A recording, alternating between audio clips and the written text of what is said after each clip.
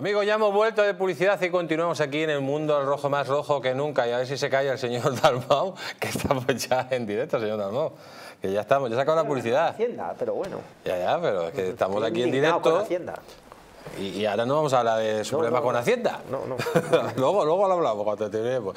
No, no. Eh, vamos a presentar a nuestro invitado que está escuchando atentamente los problemas de Hacienda del señor Dalmau, señor Rubén Tamboleo. ¿Cómo está usted? Muy buenas noches. Pues, eh, Em, pasando frío, pese a lo que dice la prensa, ¿no? O sea, ¿Pasa frío usted? Yo he pasado este fin de semana en Sevilla, he pasado frío. Eso es el cambio climático. Eh, claro, Pero la gente que se siga creyendo la patraña oficial me da bastante pena, la verdad. ¿No se cree usted lo del cambio climático? No me creo lo que dicen que está pasando, no me creo la emergencia y no me creo que nosotros seamos los culpables y que tengamos que sacrificar nuestra calidad de vida por Bueno, esa emergencia. Ahora han dicho que pues, el problema del cambio climático es que los seres humanos respiran.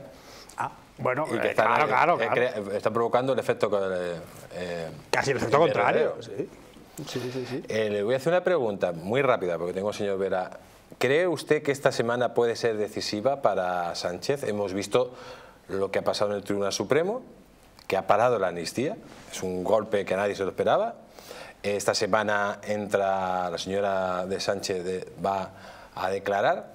También la Fiscalía Europea, que no me fío de ella, pero bueno, también dice que piensa que vaya a declarar la señora Sánchez. El juez Peinado está destripando el caso de Begoña Gómez, que hace que, mm, bueno, que cada día haya más indicios contra su mujer. No ha podido controlar el Poder Judicial, que eso era clave para que Sánchez se saliera con la suya. Eh, puede que haya elecciones en octubre con esta situación que está viviendo. Y claro, al final toda la corrupción de Begoña Gómez desemboca en el mismo mar, que es Pedro Sánchez, ¿no? Bueno, evidentemente no han sabido ni hacer o redactar esta ley, ¿no? Para que tan rápidamente eh, les den este revés. Eh, es que y también dice un poco mal de lo que ha pasado con España, ¿no? Porque eh, dicen los rumores que quien había estado escribiendo esta ley es el abogado principal del señor Puigdemont, del señor Boye. Entonces, si Boye ha estado ganando eh, algunas batallas durante estos seis años, siete años, y ahora enseguida mm, han conseguido eh, ver los resquicios de esta ley de amnistía, pues será que tan talentoso este señor no era, ¿no? Y, y además yo creo que, eh, que la cuestión de malversación estaba bastante clara, ¿no? Que es una de las, de las fuertes, o sea, que si lo han amnistiado eso bien, qué chapuzas son para todo. ¿no? Pues vamos a continuar, amigos, porque atención a esta noticia. Dice, la esposa de Sánchez, Begoña Gómez, en la hora de la verdad ante el juez. Tenemos al otro lado de Sky al señor José Antonio Vera. Buenas noches, don José Antonio, ¿cómo está usted? Eh, no, se le, no se le oye, si pueden subir el sonido del señor Vera. ¿Me oye ahora, señor Vera? Sí, don Jesús, buenas noches. Ahora, ahora sí lo oímos. Digo que esta semana va a ser la hora de la verdad ante el juez de Begoña Gómez. Eh, no querían que fuera a declarar Begoña Gómez de ninguna forma desde Moncloa. ¿Confían poco en Begoña Gómez? Eh, ¿Creen que Begoña Gómez puede meter la pata ante el juez Peinado y se implique todavía más de lo que está implicada?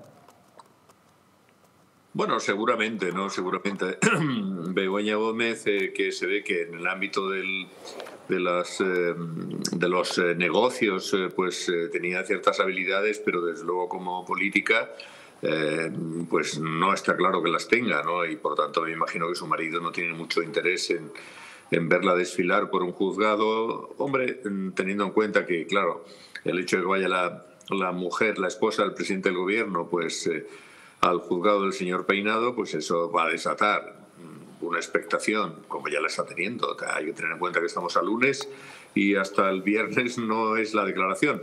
Y ya está todo el mundo pendiente de, de esta misma declaración porque efectivamente es, una, es un acontecimiento, ¿no? Al margen de lo que ahí pueda salir o no pueda salir. Y yo creo que evidentemente, claro, para Pedro Sánchez no es un asunto cómodo. Pedro Sánchez no quiere que su esposa tenga que comparecer en el juzgado. Y de hecho pues bueno yo creo que he estado eh, intentando maniobrar y, hace- y haciendo todo lo posible para que eso se evite. Lo que pasa es que mm, las cosas son como son. Es decir de momento en España de momento todavía tenemos un poder judicial independiente no salvo que eh, los asuntos del Poder Judicial terminen en el, en el, Tribunal Constitucional y entonces ya sabemos que no es tan independiente porque sabemos cuál es la orientación fija que van a tener esos asuntos, ¿no? Pero en principio en las instancias eh, inferiores y en las instancias medias, incluso en las altas, en el Tribunal Supremo, como hemos visto hoy con la resolución que han adoptado con relación a Puigdemont y el tema de la malversación, pues el, Poder Judicial es, gracias eh, a Dios y, para y, para beneficio de nuestro país es independiente. Y por tanto esa declaración que yo creo que intentan por todos los medios evitar pues se va a producir. No hay más remedio que se produzca y bueno, por otra parte tampoco tiene mayor historia, es decir, que si Begoña Gómez tiene clara eh, todo, todas, eh, todo su trabajo eh, durante este tiempo en unos y otros ámbitos, pues al final se trata de responder a lo que te pregunta el juez y tampoco tiene que tener mayor recelo ante una cuestión que es absolutamente normal en un país democrático y en la vida democrática. ¿Usted cree que eh, Begoña Gómez va a responder todo lo que pregunte el juez o en algunas preguntas se va a callar? Bueno, esto va a depender mucho de lo, del, asesoramiento que tenga de su abogado, que como sabemos es eh, el señor Camacho, que fue ministro, una persona muy cercana a Rubalcaba, muy del Partido Socialista, y que por, por otra parte es muy buen abogado, ¿eh? hay que, esto hay que saberlo. Pero, mm, claro, el hecho de que respondas o no a unas preguntas, pues eh, bueno, vamos a ver cómo lo interpreta el juez. El hecho de que no respondas, pues puede ser interpretado a lo mejor para ella en sentido positivo, pero igual para el juez no. Porque si no respondes, eh, a lo mejor es porque quieres ocultar, algo. Hay que tener en cuenta una cuestión que es fundamental, ¿no? Ella va como investigada. No va como procesada, como se dice en algunos ámbitos, ni como imputada. De momento va como investigada, que ya es bastante.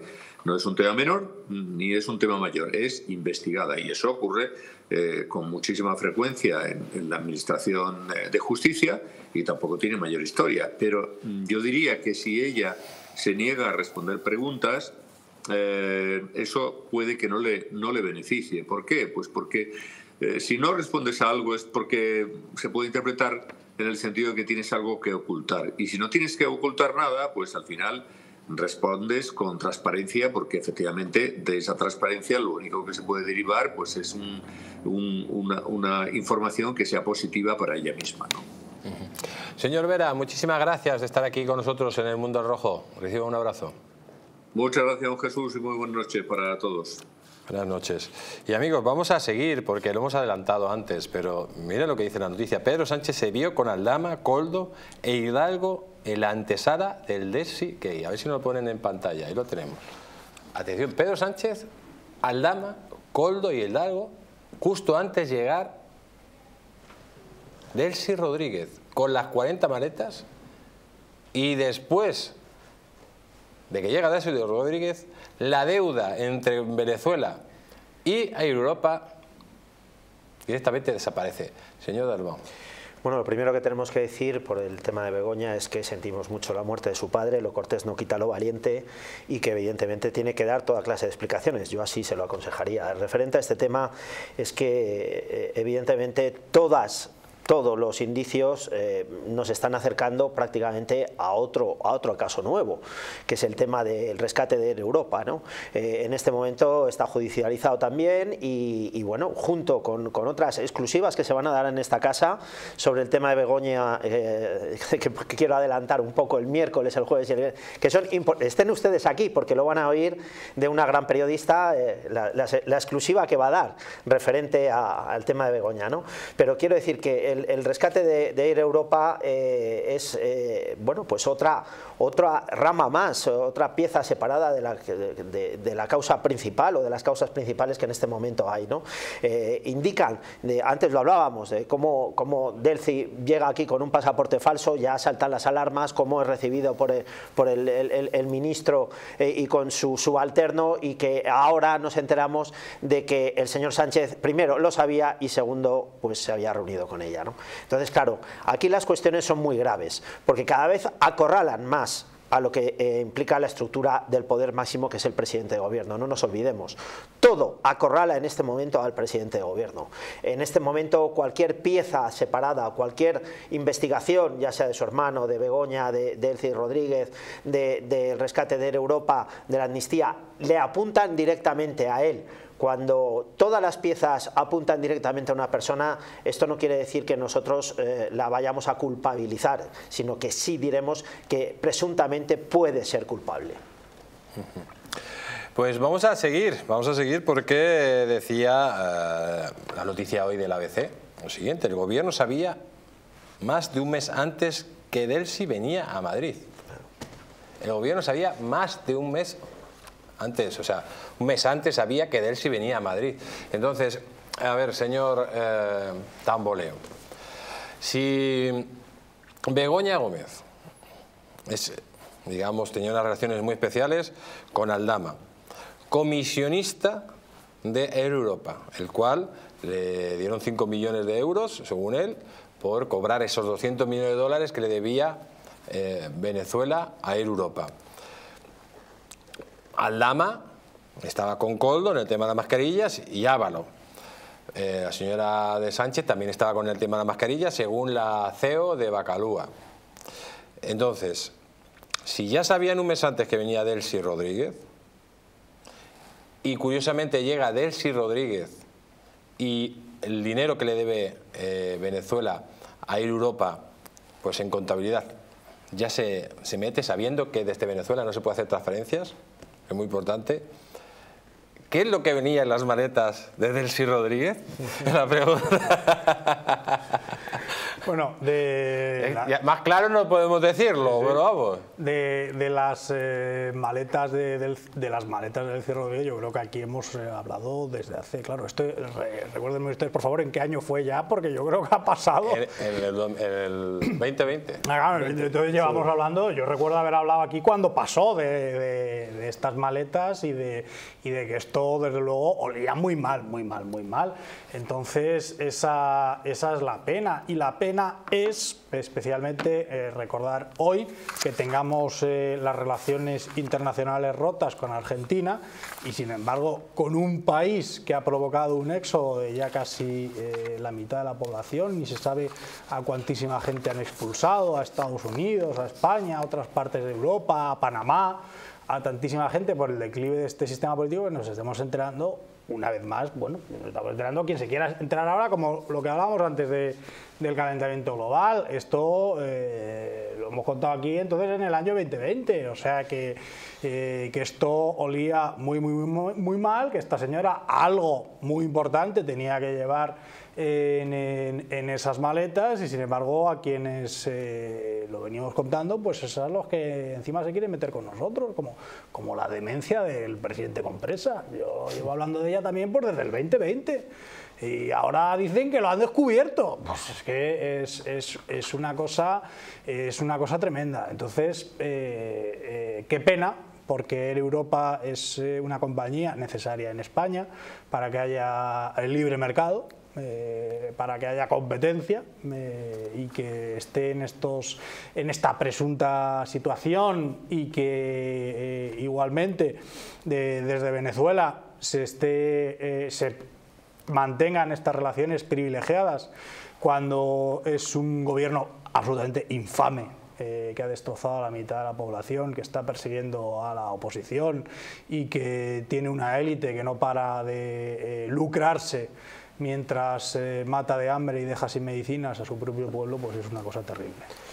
Yo muy rápido quería decir una cuestión fundamental. ¿Por qué para este gobierno todo es una trama? ¿Por qué no nos dicen lo que había en las maletas? ¿Por qué no nos aclaran qué pasó con Delci? ¿Por qué no nos aclaran el Sáhara? ¿Por qué no nos aclaran lo de Brahim Gali? ¿Por qué no nos aclaran lo de Begoña? ¿Por qué no nos aclaran lo de Coldo? ¿Por qué no nos aclaran absolutamente todo? es que todo es, todo es un presunto delito. Claro, es que estamos eh, eh, es que, es que estamos a un nivel de putrefacción de este sistema fallido hasta arriba ya. Y en este momento ya tenemos que hablar así. ¿Por qué absolutamente cada noticia que sale todos los días porque una noticia está tapando a la otra, no nos olvidemos. Es que aquí esto está corriendo desde el año 2020 y estamos en el 2024 y lo próximo que vamos a ver de aquí a septiembre es que todavía ni nos lo imaginamos. Y todo absolutamente son tramas. Su hermano, sus padres, eh, eh, las, maletas, eh, el Sáhara, Brahim Marruecos, su móvil, absolutamente todo. Pero ¿a qué se dedica este gobierno? Pero este gobierno es capaz de gestionar algo. Que necesita veintitantos ministros para gestionar lo que es ingestionable para ellos en su vida privada. Es que es absolutamente cierto todo lo que se está hablando. Es que se le está pidiendo explicaciones y por vergüenza, absolutamente por vergüenza, por ser el presidente de gobierno de todos los españoles, tendría que dar explicaciones. voy a hacer una pregunta. ¿Cree usted que lógicamente, o sea, la trama tiene, presuntamente tiene la siguiente forma? Aldama, Begoña, Begoña Sánchez, Aldama Begoña Sánchez eh, a Europa, Begoña Aldama Sánchez a Europa, Coldo, Aldama Begoña Sánchez a Europa, Coldo, Ábalos y luego un señor que es el embajador de la narcodictadura, que es el señor Zapatero, que podría haber estado presuntamente en esa, en esa gestión para que eh, pues una señora que vino aquí de forma ilegal presuntamente trajera el dinero del presunto pago de Europa. Lógicamente aquí hay comisiones, no solo para el Lama. O sea, no se va a meter presuntamente Begoña Gómez o Pedro Sánchez o Ábalos o Coldo en toda esta trama si por debajo no hay un billetito. Don Jesús, aquí hay una cosa fundamental. Cuando no se pueden desmentir los hechos, repito, cuando no se pueden desmentir los hechos, y estamos hablando de ellos desde el 2020, don, Rubén Tambolero desde el 2020, y no se pueden desmentir, quiere decir que es que son verdad. Y aquí hay una verdad, que hay corrupción, y que hay una corrupción generalizada y cada vez es más gorda, porque los hechos no se pueden desmentir y cada vez hay más hechos y cada vez se producen más hechos. Ábalos tiene 11 versiones diferentes. Claro, ¿no? y puede dar otras 20. Y, el, presidente de gobierno pues nos puede dar otras 20 más. El problema es que los hechos no los pueden desmentir. Pues atención amigos, que mm, en Moncloa la cosa está que arde.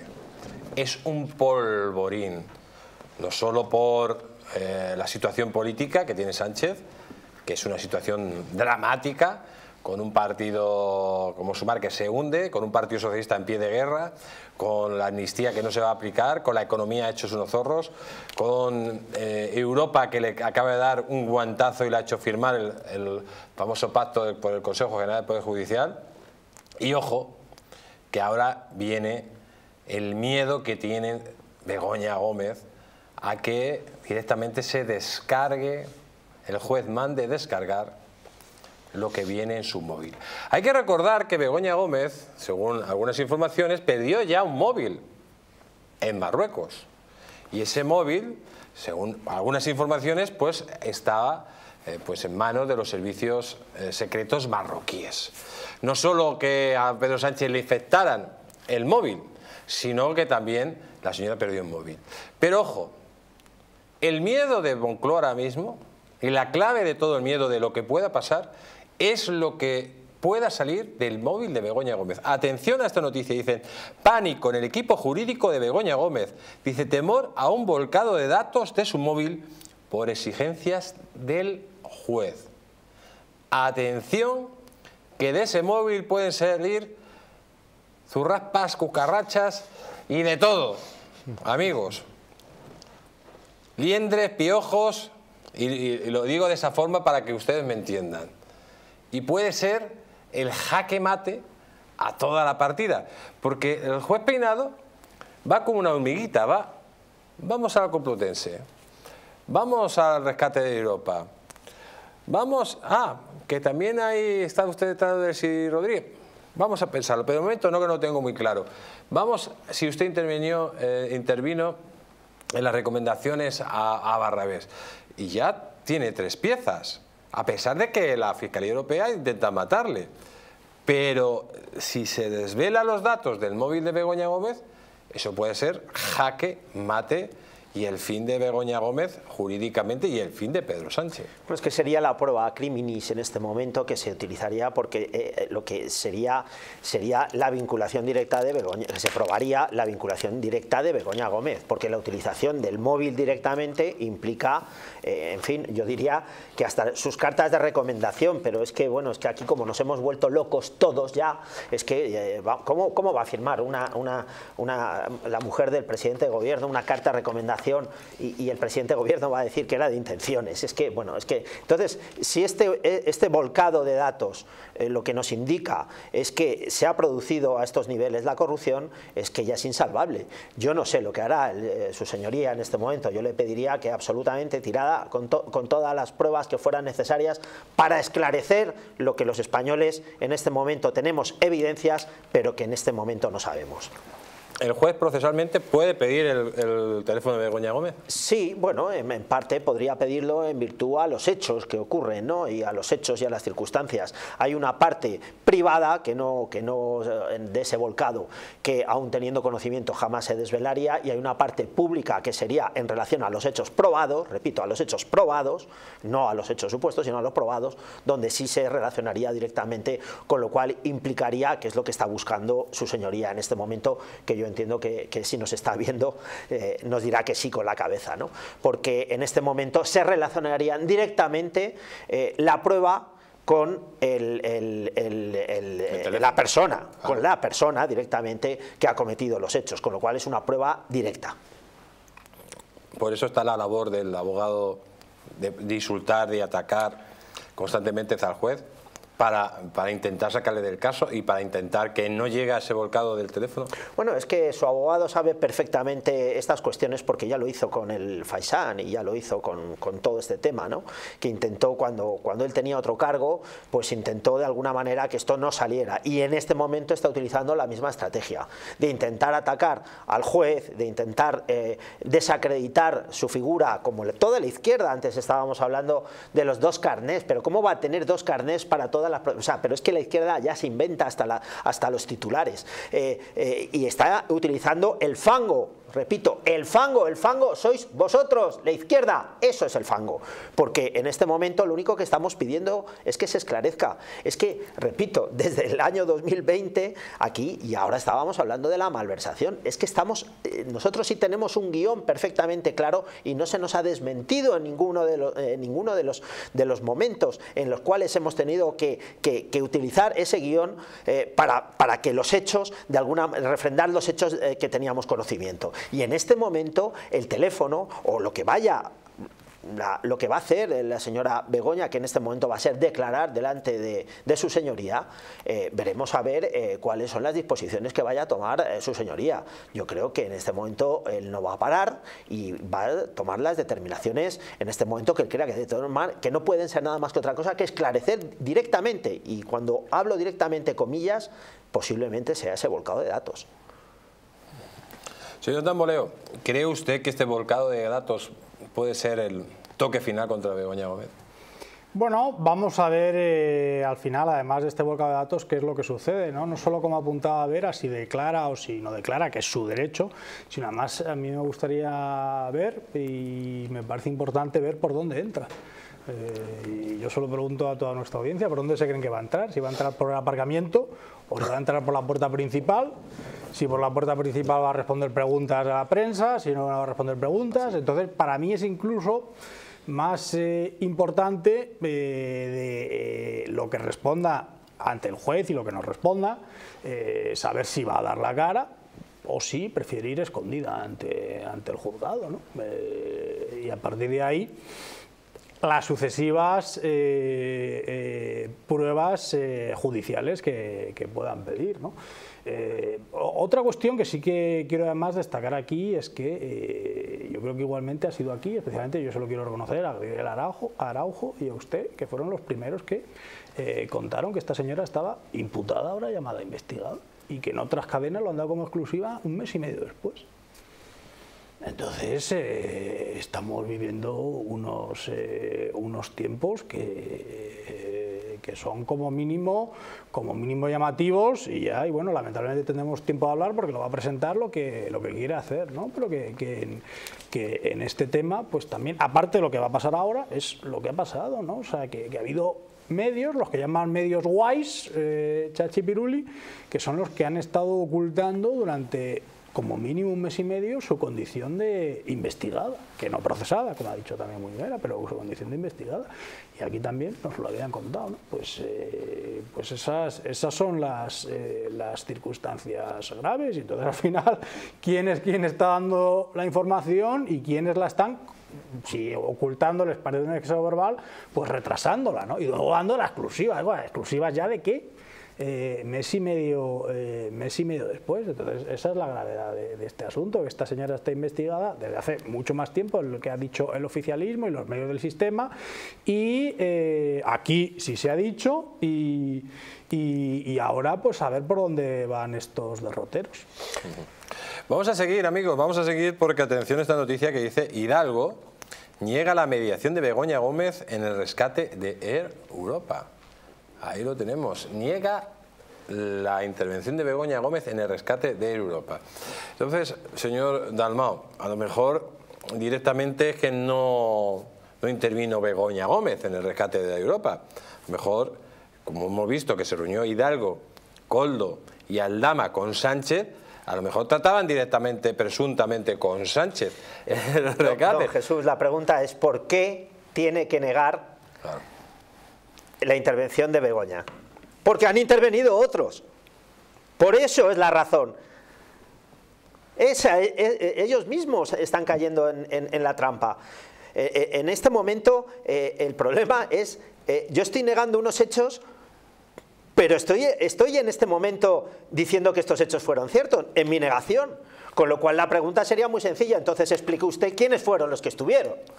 Es que, es blanco y en botella, porque usted no me puede negar una persona que ha intervenido en unos hechos. Me tendrá que negar los hechos para decir que esta persona no ha intervenido, cuando usted mismo se está autoinculpando.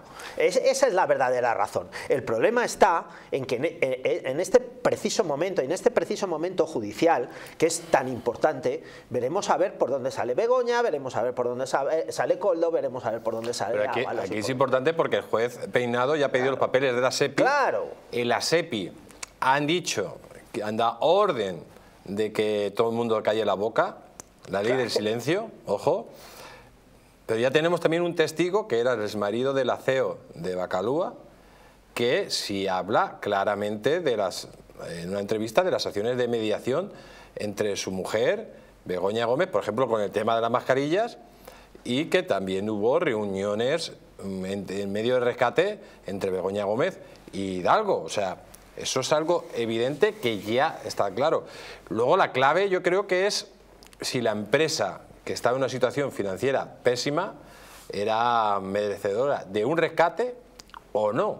Si no era merecedora de ese rescate, ¿por qué le dieron el rescate?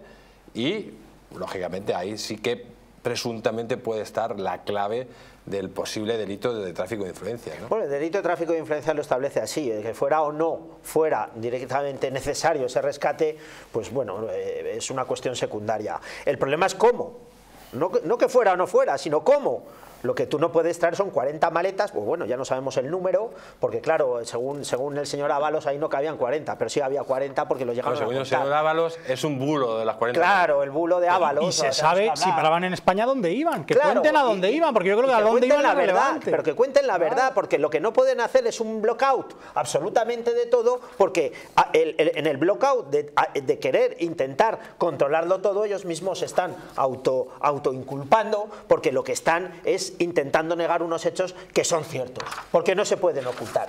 Entonces, claro, si no ha habido nada, se dan toda clase de explicaciones. Lo que no se puede dar, como el señor Ábalos, son 11 versiones diferentes. Lo que no se puede dar es 11 explicaciones que no tienen nada que ver y lo que no se puede hacer es ocultar sistemáticamente por el poder un hecho tras otro, un hecho tras otro, desde Delphi, desde Begoña, porque claro, esto ya es tremendamente, porque dicen, aquí no ha pasado nada, pero no ha pasado nada de qué, de cuántas cosas que estamos hablando no ha pasado nada, porque claro, eh, repito, los hechos no se pueden negar y cuando los hechos no se pueden negar, las certezas y las evidencias son lo que quedan.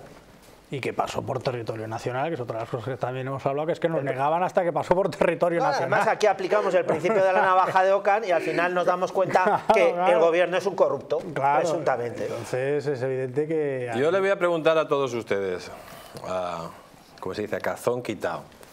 Eh, ayer aquí en el programa, el señor Castillo, Albert Castillo, habló en el programa de, Luis Losada, habló de que eh, Pedro Sánchez tiene un, digamos, un plan B para Begoña Gómez, en el sentido de que se está preparando un retiro dorado en Marruecos, en el sentido de que se sabe que todo lo de Begoña Gómez, si va para adelante, desemboca en Pedro Sánchez.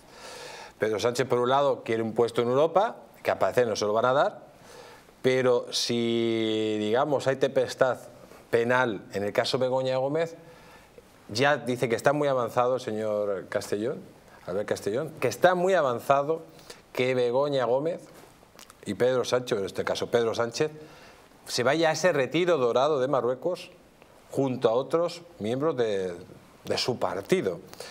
Eh, ¿Usted cree que lo que estamos hablando de quitarse de en medio en un momento determinado y hacerse fuerte en Marruecos o en República Dominicana es el plan B de Pedro Sánchez? Que, está tan, tan al límite, tan desesperado, tan enloquecido de que ya está lo de Begoña Gómez, está lo de su hermano, está lo de, posiblemente de su padre, lo del fiscal general del Estado.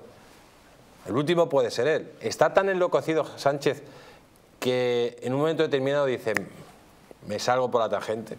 Yo creo que el plan A, B y C pasa porque dimita y convoque elecciones. Plan A, B y C, señor presidente, dimita y convoque elecciones y váyase donde a usted le dé la gana.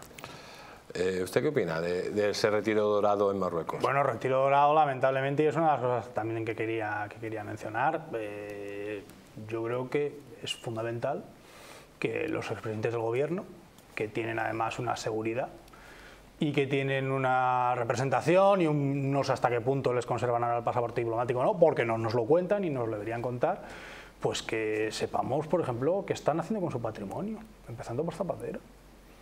O sea, es que nos tendríamos que preocupar del primero de todos, de José Luis de Zapatero. Eh, y tenemos, los españoles tenemos derecho a saberlo, porque él ya no tendrá un, sueldo público, no, no, está en el Consejo de Estado, pero tiene seguridad pública, eh, a veces usa determinados edificios de la red exterior de España, etcétera, etcétera. Y eso nos lo deberían de contar, y si está usando eso, pues eh, es, eh, esto no es, o sea, es que no es especular con el posible retiro dorado de eh, Pedro Sánchez, que yo creo que desde luego ya lo tendrá bastante trabajado, sino es hablar de una realidad, y es la realidad de José Luis Rodríguez Zapatero, que está viajando, yendo y viniendo. Bueno, Aznar se lo decía el otro día cuando acababan una, una charla supuestamente amigable, que si, que si se iba otra vez a Venezuela. Y, y, claro, este señor está yendo y viniendo, está eh, decidiendo una serie de cosas y es él el que ha tenido un retiro, en este caso nunca mejor dicho, muy, muy, muy dorado parece ser, ¿no? El de, el de claro, aquí estamos hablando, por ejemplo, que el rey del mambo en República Dominicana es el señor Bono.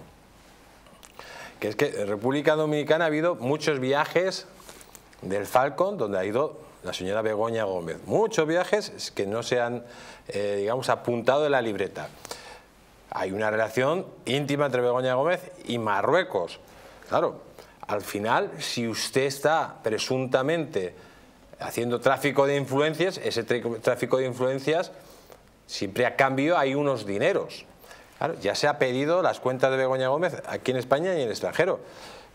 Pero puede que el plan dorado sea tan grande como dice el señor Castellón en Marruecos puede que, que, que, esté todo atado y bien atado y que en un futuro pues no se le pueda tocar a Pedro Sánchez en absoluto nada si el momento penal se va de madre?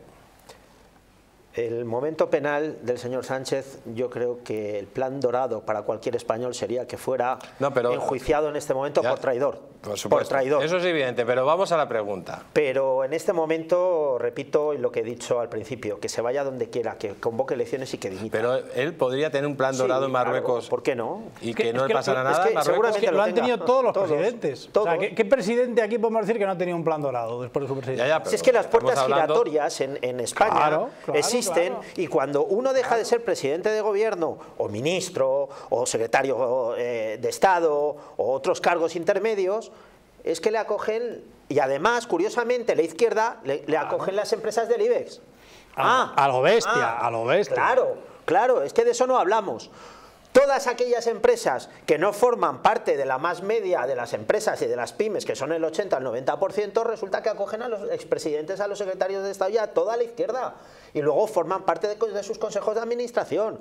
O sea, con esto quiero decir que encima protegen, amparan las empresas, las grandes empresas multinacionales a los que quieren Las puertas giratorias. Las puertas giratorias, lo que siempre hemos hablado de las puertas giratorias. Si es un clásico además. Pero el problema es que es la connivencia absoluta de la izquierda y de los líderes de la izquierda con los grandes capitales. Pero ahora estamos hablando de las puertas giratorias, vale, con las grandes empresas del IBEX. Perfecto, se ha hecho toda la vida. No vamos a discutirlo. Pero ahora estamos hablando del plan dorado de Pedro Sánchez eh, con una narcodictadura como es Marruecos. Ojo, es que la apuesta se está subiendo. El, la apuesta subimos. Una cosa es que te metan en el Consejo de Administración de Telefónica y otra que tengas un plan dorado con un país como Marruecos, que es una narcodictadura, y eh, directamente que te ha chantajeado previamente y presuntamente también a, su mujer. Pero si es que no es ni siquiera hablar del futuro, es ahora mismo en el presente es que este señor no ha retirado nunca, nunca, nunca el embajador de Marruecos cuando hemos tenido una afrenta detrás de la otra, detrás de la otra, detrás de la otra, detrás de la otra. Y bueno, con el caso, con el, Sahara, con el, no solo con, con, el Sahara también, sino incluso con Gibraltar también, ahora mismo tienen el gobierno más débil de la historia, del, de la historia conocida del Reino Unido, Gran Bretaña, y se están bajando los pantalones con el tema de Gibraltar. Entonces, eh, tienen en el campo exterior de España toda una serie de tejemanejes que, eh, que nos hacen preguntarnos eh, qué contrapartidas políticas, económicas, las que sea, puede haber ahí. Y como están en el gobierno, tienen la obligación política y la moral de rendir cuentas. Entonces esto se lo tendrían que estar preguntando en las sesiones de control continuamente. Eh, con Marruecos es gravísimo la enorme cantidad de veces que tendrían que haber tomado consecuencias diplomáticas, que no han tomado nunca y la toman con el hombre que, eh, han, han decidido que es el ogro argentino. Vamos a seguir amigos, vamos a seguir y atención a esta serie de noticias, atención. Dice, el grupo que absorbió la empresa dirigida por Begoña Gómez recibió 8 millones en subvenciones del Estado desde 2020. Atención a esta noticia que es muy importante porque este grupo absorbe la empresa donde estaba Begoña Gómez, que también tenía participaciones. Por lo tanto, Begoña Gómez tiene todavía participaciones en este grupo que ha recibido 8 millones en subvenciones del Estado desde el 2020. Bueno, es que ¿Esto cómo se puede entender? La sucesión de hechos, si en este momento ella mantuviera ese accionariado, pues también tendría que dar explicaciones de... porque la ley de, contratación del sector público, que siempre tenemos que hablar de ella del 2017, la 9 de 2017, lo establece así. Porque además es que tiene que ser transparente y clara ante, ante, eh, ante la concesión de, estas subvenciones. Entonces, claro, aquí continuamos la trama y, vemos que por cada vez que hay un camino que, aparecen determinadas personas, hay una trama nueva. El problema está en que si estas concesiones de 8 millones de euros, nada más y nada menos, ya nos gustaría que alguna de nuestras empresas nos concedieran, le digo alguna, eh, no digo todas, eh, se concediera algo de dinero, evidentemente nosotros seríamos los primeros en que fuera transparente, claro y limpio. Pero claro, el problema de, toda, de todo esto es que nunca es transparente, claro y limpio. Vamos a seguir. Dice, Google fichó a un directivo del PSOE tras imponer Sánchez su tasa y ahora Begoña Gómez tiene el software gratis. Señor Tamboleo. Bueno, eh, pues todo esto es lo que debemos saber ahora, entonces si declara o si no declara. Porque hay ahí, pero no solo con ese, no solo con ese software, sino con, eh, con otro de los software con el que estaba hipotéticamente trabajando en la universidad. Entonces, eh, ahí pues, eh, pues es donde tiene, tiene bastantes cosas que, responder y efectivamente... Es que lo que está diciendo, y sonando la noticia, es que Google le hace un software a Begoña Gómez, presuntamente gratis, pero directamente luego el gobierno de Sánchez beneficia a Google.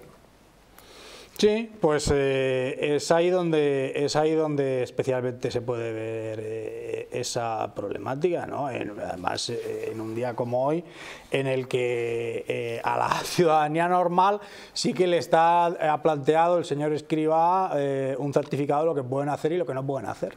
Que si Google ya limita muy mucho la información de la gente, ahora incluso le va a limitar el acceso a determinado tipo de contenido pues eh, eso, eso es lo que, eh, lo que estamos viviendo y la gravedad de cómo hay una gente muy arriba que se cree con la impunidad de hacer ellos lo que quieran, mientras que le dicen a los de abajo eh, cómo deben vivir, cómo se deben comportar y, lo que deben y lo que no deben hacer. Entonces ahí es la gravedad del asunto y la pena es que haya gente que no reacciona. Pues digamos, porque Begoña Gómez usa sin permiso el logo de Coca-Cola para vender su máster. Nunca nos pidió autorización, señor Dalmao. O sea, esto ya es el colmo de los colmos. Y todo porque una directiva o una persona que trabaja en Coca-Cola hizo uno de sus másteres. Bueno, es que yo lo que veo es la impunidad absoluta, porque claro, el desconocimiento, alguien le tiene que decir a la señora Begoña, eh, oiga, mire, no puede utilizar las marcas nada más que, que forman parte de su eh, acreditación para, para, poder eh, impartir la presunta cátedra, comillas, versus lo que sea, eh, pero lo, usted no se puede apropiar del logo de los demás porque usted está cometiendo posiblemente también y presuntamente una serie de delitos, porque el registro de las marcas impide que cualquiera de nosotros podamos aparecer con no voy a decir la marca porque estamos en un, en un, en un eh, medio, y por no hacerle propaganda gratis, que ojalá, ojalá invirtiera esa marca en, esta, en este canal, ¿no? Eh, eh, y, apropiarme de la imagen para yo salir beneficiada. Es que, repito, nos hemos vuelto locos. Pues vamos a seguir, amigos, porque, atención, esta noticia, que es muy importante. Hazte oír, hazte oír, se creía contra siete magistrados del Constitucional por invadir competencias del Supremo en la sentencia de los ERES. Directamente, atención. Atención, que es lo que todo el mundo estaba preguntando. Si los miembros del Tribunal Constitucional están actuando fuera de sus competencias a sabienda de lo que están haciendo, lógicamente estarían ante un acto de prevaricación, señor Dalmao.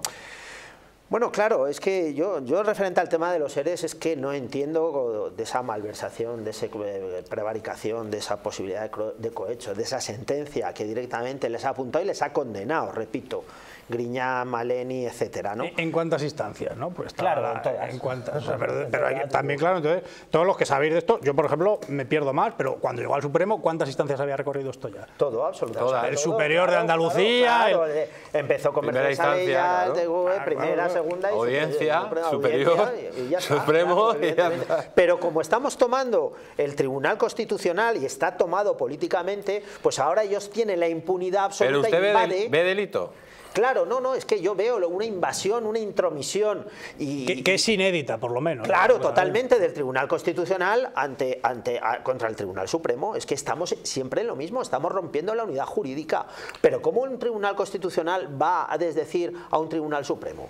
Pero, pero y además lo que provoca esto es implanteable en el derecho constitucional claro, es totalmente implanteable primero eh, porque europeo, el, Tribunal Constitucional eh, como he dicho antes no tiene esas no debería tener esas competencias pero es que segundo está enmendando al Tribunal Supremo y está rompiendo la unidad jurídica y está rompiendo eh, todo todo lo que avala al Tribunal Supremo que, que no, no son nada más que sus sentencias y sus autos. Y a partir de ahí la jurisprudencia existente que es que son fuente de derecho además. Repito, es que eh, en este momento estamos viendo como el golpe de Estado que se está dando desde las instituciones abarca ya a ir directamente eh, contra nuestro Tribunal Supremo. Pues tenemos al otro lado a nuestro querido Sergi Fidalgo. Buenas noches, don Sergi, ¿cómo está usted? Muy buenas noches. ¿Está usted flipando contra el proceso? Yo siempre flipo contra el proceso. bueno, felicidades por ese nuevo libro. Que, ah, que, vamos, que nos tengamos que enterar por la prensa que está, ha sacado usted un nuevo libro. se lo mandé ahí a Distrito, ¿no le pues, llegó? Pues, no, no nos ha llegado, no nos ha llegado. Bueno, pues lo cuando nos llegue, cuando nos llegue, pues le haremos una entrevista. No, pero vamos, lo mandáis segurísimo, ¿eh? Pero bueno, no, te preocupes que te lo vuelvo a mandar, es que haces correo me hace estas cosas, pero vamos. ¿Cómo no voy a tenerle mis oraciones a usted, hombre? Ya, pues, vamos, segurísimo, vamos, segurísimo. Bueno, felicidades por el nuevo libro, que es como, como, un, como un bebé que ha, que ha tenido nuevo. Pero vamos, vamos con el tema del Tribunal Supremo. ¿Qué opina usted de la querella que ha puesto Hazte Oír precisamente contra el Tribunal Constitucional mm, por prevaricación, por invadir a sabiendas las competencias del Tribunal Supremo? Pues justo y necesaria, porque realmente lo que no puede convertirse el constitucional es una especie de, sala de casación del Supremo. Se llama Supremo precisamente por eso. Y una cosa es que el Tribunal Constitucional, en algunos aspectos de derechos humanos o de respeto a la Constitución, pues tenga ciertas competencias, y otra cosa es que se empiece a enmendar la plana en temas como la malversación. Es que no, no, no tiene ningún tipo de sentido. Conde Pumpido está convirtiendo el constitucional en una especie de, digamos, de órgano político a favor de Sánchez y a favor del PSOE y es indecente, por lo tanto muy bueno será que al menos que se ponga en evidencia lo que está haciendo el constitucional. Eh, le voy a hacer la pregunta del millón. Pedro Sánchez con el fiscal general, imagínese, eh, del Estado imputado. Pedro Sánchez con el presidente del Tribunal Constitucional imputado por esta querella, con la mujer imputada, con el hermano imputado, que eso ya son realidades, y con el padre presuntamente o en un futuro imputado, eh, ¿esto es sostenible? En una democracia normal no debería serlo, pero es que el camino que está llevando Sánchez no es, de una democracia normal.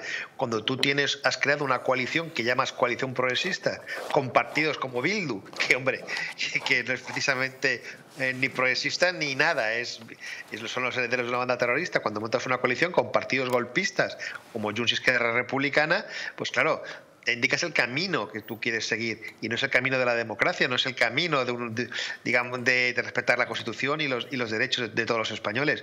Por lo tanto, ¿cómo me va a extrañar? Al contrario, Sánchez nos va, a convertir, como no consigamos democráticamente vencer en las urnas, a convertir a España en algo muy siniestro. Por suerte hay muchos millones de españoles que no lo van a permitir. Le voy a hacer una pregunta. Lógicamente está usted en Barcelona eh, ¿Cómo ha caído en Cataluña que el Tribunal Supremo no aplique la amnistía por el tema de la malversación? en la parte de la Cataluña que es, que es leal al resto del país, en la parte de la Cataluña que Cataluña que quiere constitución y quiere libertades, ha caído de una manera estupenda porque nos sentimos amparados frente precisamente a estos intentos de Sánchez de convertirnos en una especie de moneda de cambio, de vendernos una vez más al separatismo, que la justicia diga no, eh, hay cosas que por las que no podemos pasar, nos reconforta y nos hace sentir muy bien. Pues señor Sergi, don Sergi Fidalgo, flipando con el proceso. Pues muchas gracias, se lo vuelvo a mandar. en todas las librerías y que no, eh, bueno, en Amazon, en librerías electrónicas, Amazónico y Corte Inglés y sitios así, porque las librerías de Cataluña no quieren este tipo de libros. Bueno, ellos, ellos se lo pierden, que vivan en la ignorancia profunda. un, Muchísimas gracias. ¿eh? un, fuerte, un fuerte abrazo, don Sergi. Gracias, un abrazo. Y amigos, vamos a darles a ustedes un consejo antes de irnos con el tema de Francia. Porque lo de Francia, amigos, Europa se la juega en Francia o un partido como Marine Le Pen gobierna o la extrema izquierda toma el control y ya tenemos dos países europeos alineados con el cártel de Puebla, con el crimen transnacional. Atención, antes de irnos a esto, les voy a dar una recomendación. ¿Quieren perder ustedes dos kilos en 48 horas? ¿Dos kilos en 48 horas? Pues si les gustaría perder esos kilitos de más, volver a utilizar aquellas prendas que tanto les gustaban, Naturhaus le trae la forma más rápida y eficaz de hacerlo.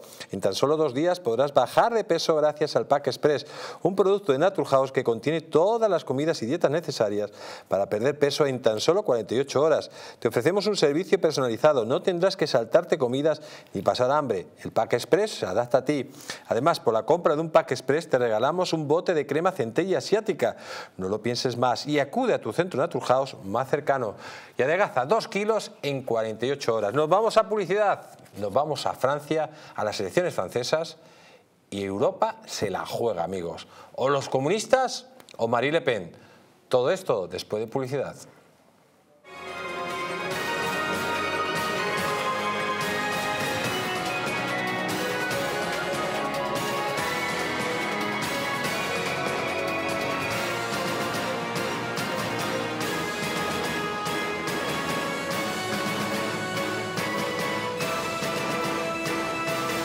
Bull Seguridad protege tus activos de la ocupación. Mediaciones legales y efectivas. Cobertura inmediata 365 días al año. Bull Seguridad con el mundo al rojo. Una noche larga de fiesta con los amigos. Has terminado cansado y con una copa de más. Ahora en exclusiva en Naturhaus, Staff Detox. El remedio que acaba con esas resacas eternas del día siguiente. Acércate a tu tienda más cercana o visita naturhaus.es. En Plus Ultra Líneas Aéreas sabemos que las cosas más importantes de la vida no se ven, se sienten. Son esos lazos que nos atan fuerte a nuestra gente, a nuestros sueños, aunque estemos a miles de kilómetros. No importa de dónde vengas o a dónde vayas. En Plus Ultra seguiremos volando contigo para que nunca te falte lo más importante, los lazos que nos unen. Plus Ultra Líneas Aéreas, lazos que nos unen.